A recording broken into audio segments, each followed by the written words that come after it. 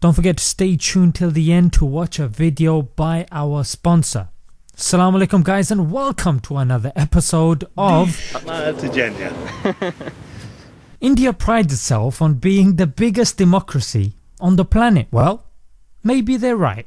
If by planet they mean Kepler 452b.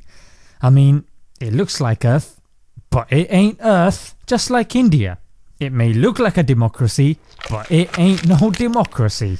I mean, look at Kashmir, revoking CAA, suppressing local dissent, and now they're going international. Yes.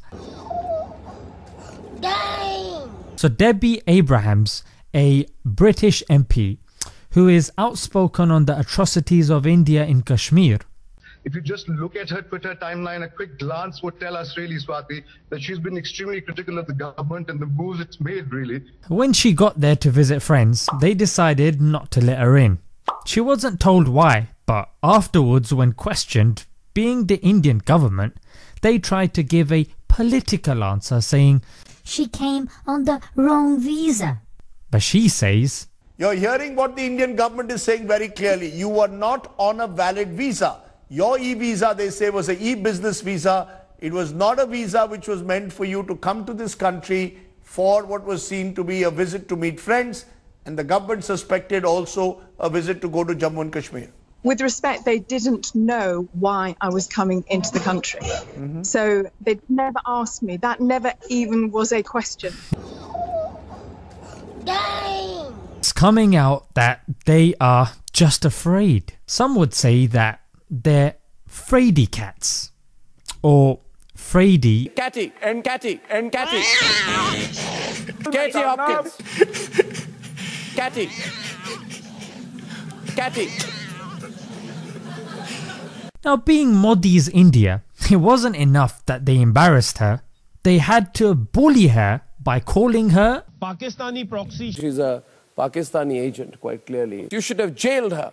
You should have jailed her. You're being called a Pakistan proxy and ISI proxy. She should have been in an Indian jail for some time. And we wonder why no one speaks out in the biggest democracy. Mr. Arnab, the host of one of the most watched shows in India.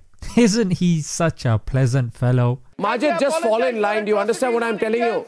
Stop shouting. Majid. a member parliament there. You are not only anti-national, you are very badly behaved. Would Would it allow it? It would not.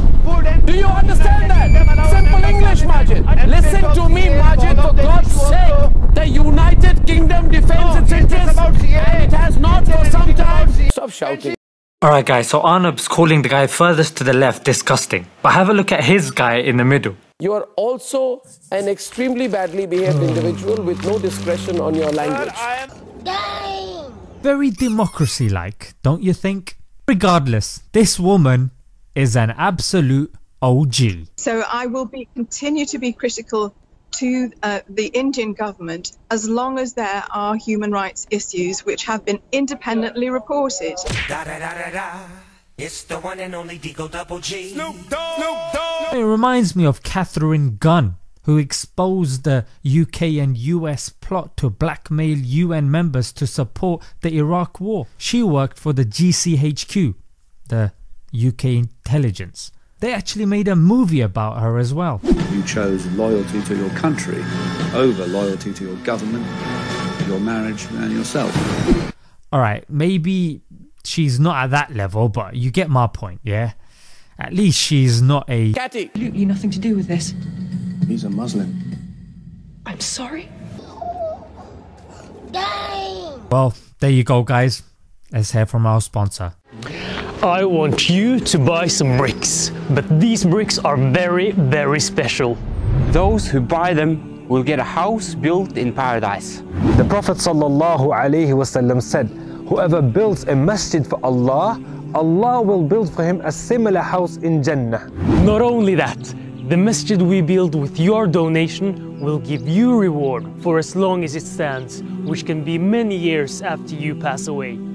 Every salah that is prayed in there, five times a day, 365 days a year. Every Jum'ah that is attended by hundreds or thousands of people. All of those children learning and memorizing the words of Allah. Every person who breaks their fast in Ramadan in the masjid, you will get a slice of that reward coming straight to your scale of good deeds. On the day when our deeds will be counted, imagine having all of these prayers of people on your side. So what are you waiting for? Help us build this masjid because until you donate, these bricks will be owned by someone else and if we don't buy them, we can't have our masjid. Click the button on this video and build a house for yourself in Jannah inshallah. And please share this video so you get the reward of all others who donate because of you sharing it. May Allah reward you.